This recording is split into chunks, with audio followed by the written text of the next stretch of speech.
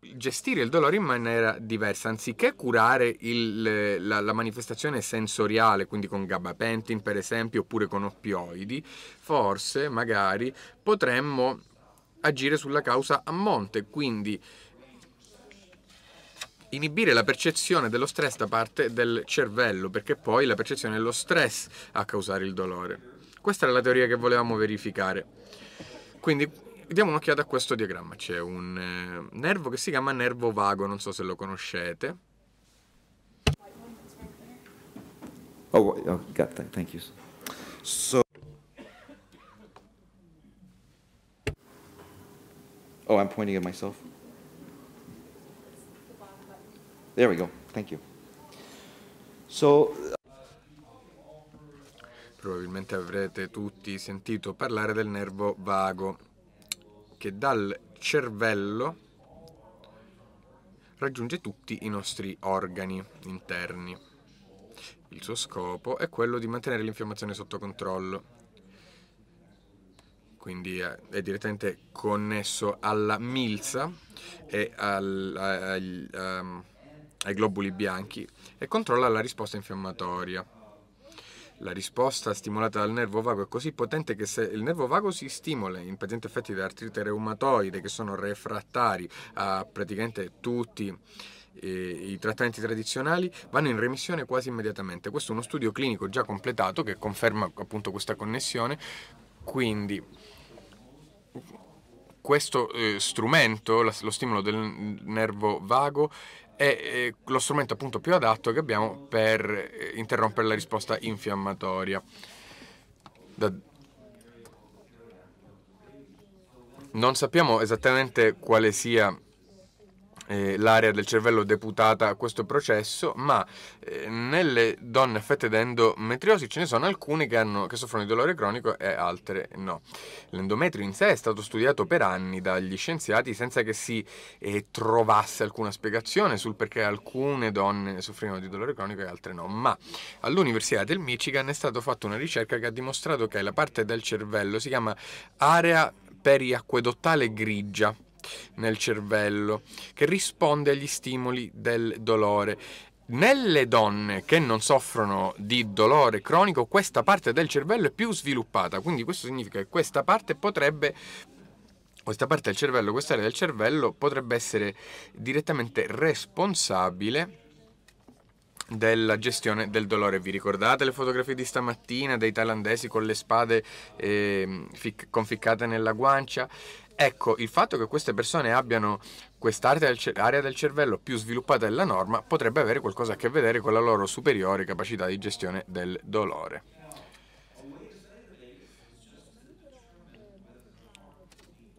Studiando il nervo vago si può capire se il cuore si sta modulando in maniera adeguata oppure no. Nei pazienti affetti da dolore cronico, come potete vedere qui,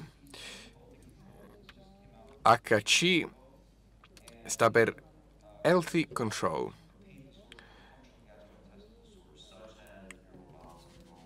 Nei pazienti affetti da disturbi gastrointestinali come il, il vomito ciclico, eccetera,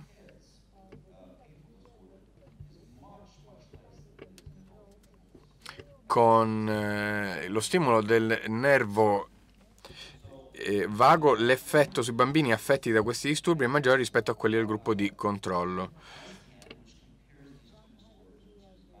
Con il programma iScan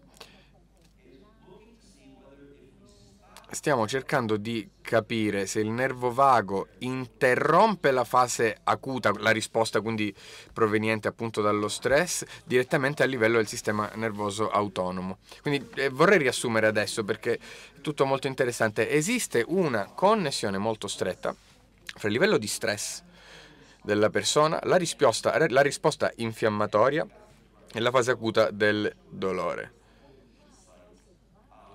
Questo chiarisce tantissimo la natura appunto delle fasi acute del dolore. Salterò queste slide. Questo è un altro modo di stimolare il nervo vago, si utilizza uno stimolatore microauricolare, noi lo utilizziamo, eh, un, uno strumento disponibile anche in Europa in ogni caso.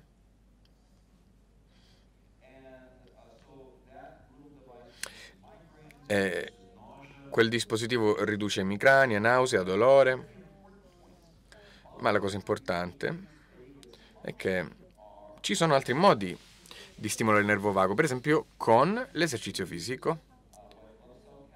Si riduce il numero di globuli bianchi, quindi con l'esercizio fisico, si riduce l'infiammazione e si migliora la modulazione del nervo vago.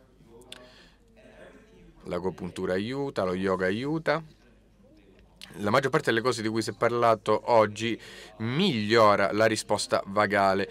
Quindi l'esercizio fisico vi aiuta a stare meglio in, in, in, generale, ma a parte appunto la questione generale in sé per sé, in termini proprio specifici, altera il modo in cui opera il cervello a livello proprio vagale. Quindi il dolore ha un impatto minore sulla nostra psiche e sul nostro fisico. Ora, prima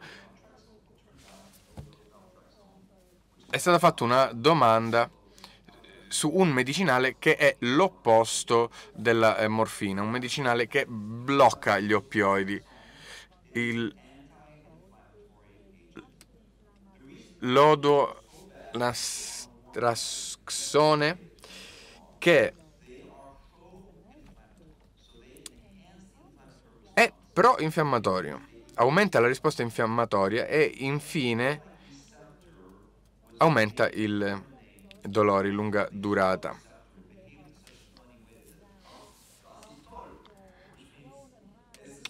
Esistono dei eh, ricettori che si chiamano TLR, in tedesco si chiamavano TOL, perché quando sono stati scoperti il medico gli ha scoperti e ha detto Dasi Stoll, ma che bello. E... e sostanzialmente controllano i ricettori del dolore nel nostro corpo. Con la morfina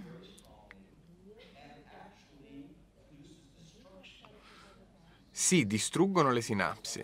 Questo è il ricettore.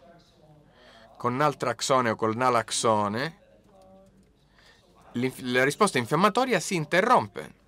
Quindi questi sono farmaci che io preferisco prescrivere alla morfina proprio perché hanno effetti migliori sul corpo e sul cervello. Passiamo alla seconda parte della presentazione, parliamo di gravidanza adesso.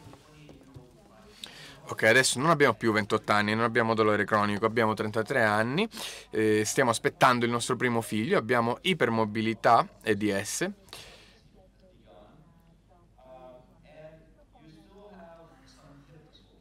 Ancora ogni tanto soffriamo di lussazioni dell'anca, ma mm, facciamo esercizio 5 volte a settimana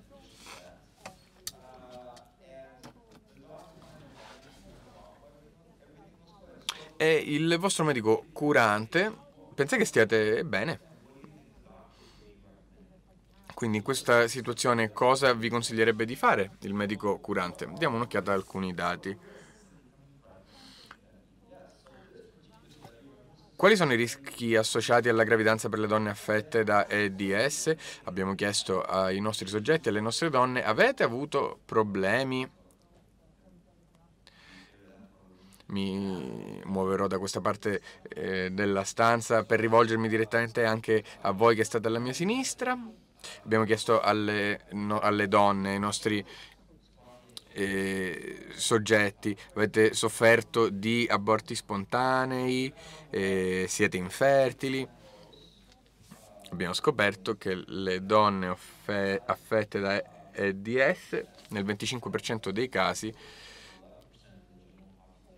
sono andate in parto precoce, altissimo il tasso di aborti spontanei, eclampsia molto alta, infertilità molto alta.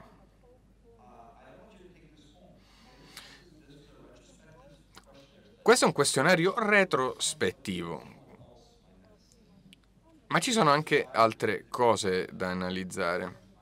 Ok, in questo caso parlo dei vari tipi, nel grafico si parla dei vari tipi di eh, EDS, esistono delle leggerissime variazioni ma non è il caso di parlarne adesso. La cosa interessante è questa. Nel caso di donne affette da EDS in gravidanza è importante fare ultrasuoni intrauterini per confermare la gravidanza verificare che, sia, che l'ipermobilità non stia causando problemi seri alla, alla donna. È importante in ogni caso anche consultare un esperto in genetica prima del parto o durante la gravidanza. Ora, in questo caso si trattava di un questionario leggermente parziale, perché? Perché ci sono persone a cui piace di più, che rispondono più volentieri alle domande di un questionario, e c'è un motivo, eh, ma in ogni caso abbiamo dei dati interessanti.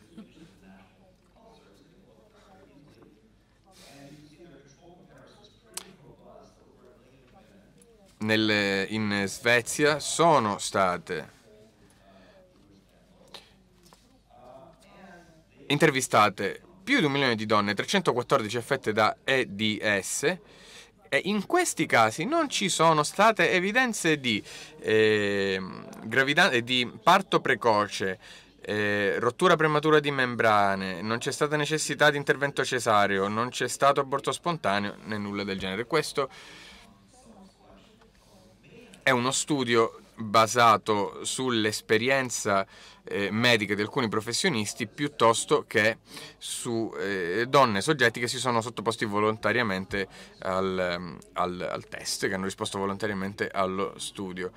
Quindi in questo studio invece abbiamo studiato il tasso di donne che hanno problemi di prolasso dopo la gravidanza, che questo era principalmente il nostro eh, obiettivo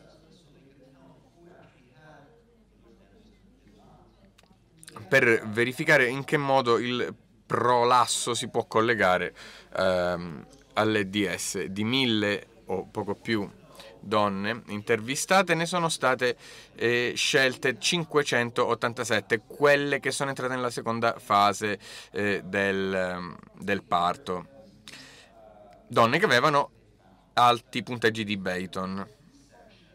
In questi casi il rischio di eh, aver bisogno di eh, intervento cesareo era più alto per le donne non ipermobili. Quindi se sei ipermobile è più facile che tu possa portare a termine con successo un parto naturale piuttosto che nel caso contrario.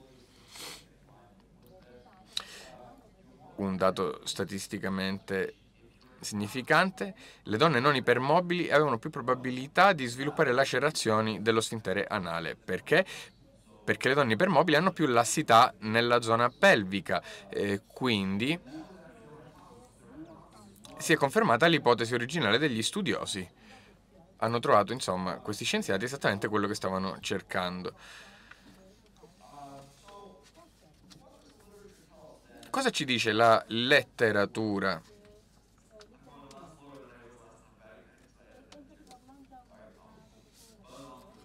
Chiedo scusa, aumento un po' la velocità perché sto andando lentamente. Che cosa dice la letteratura? Io credo agli studi in prospettiva.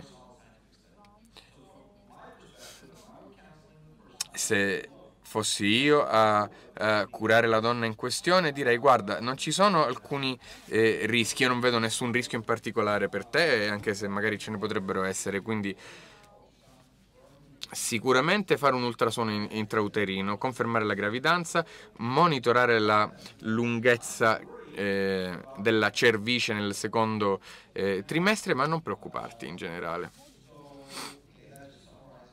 Con questo un riassunto di quanto vi ho appena detto.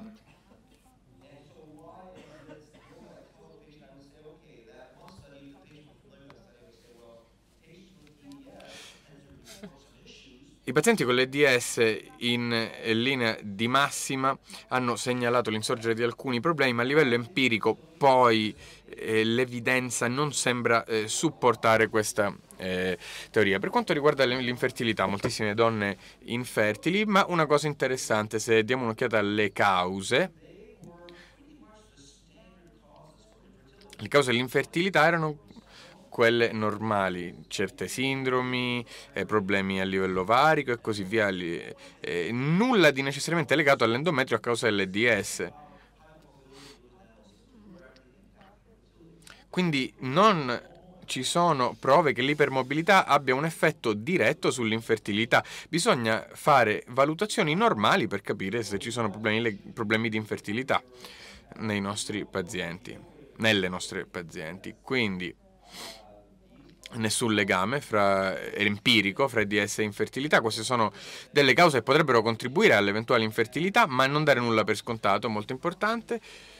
Controllare la cervice durante la gravidanza, Parliamo del ciclo mestruale.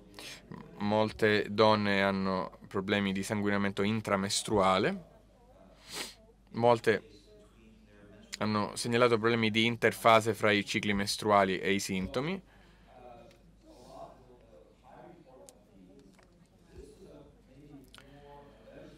Questo è uno studio forse addirittura migliore e più interessante, in cui non si sono trovate prove di collegamenti esistenti fra lacerazioni vaginali e, e, e DS, né sanguinamento ed EDS. Se le fasi acute coincidono con il ciclo mestruale potrebbe essere interessante per voi provare il, eh, prendere la pillola anticoncezionale eh, con la pillola anticoncezionale alcune donne sono migliorate, altre no, ma se ci sono fasi acute in corrispondenza del ciclo mestruale,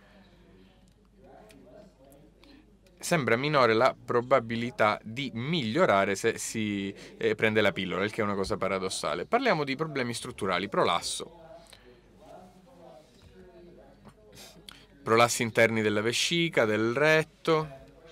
La domanda è, esiste un'associazione fra il prolasso e l'EDS?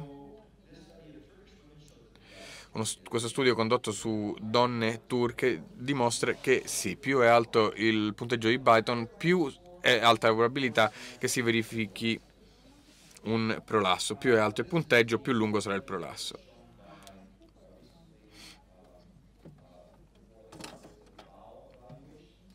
Questi sono dati raccolti durante, eh, nel corso di eh, studi del tratto gastrointestinale, ci sono stati, sono stati evidenziati problemi nei patenti affetti da EDS di incontinenza urinaria, per esempio.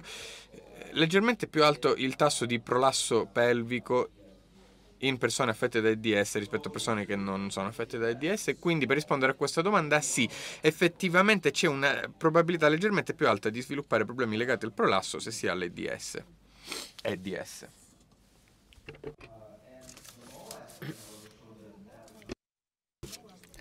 Sebbene questo studio dica che non c'è nessun rapporto con i parti, eh, non esiste la possibilità di avere un prolasso se non si, è, non si è partorito, ma in termini generali, questo secondo questo studio. Per quanto riguarda le differenze tra i vari tipi di prolasso, il trattamento del prolasso nella sindrome di Ehlers-Danlos, eh,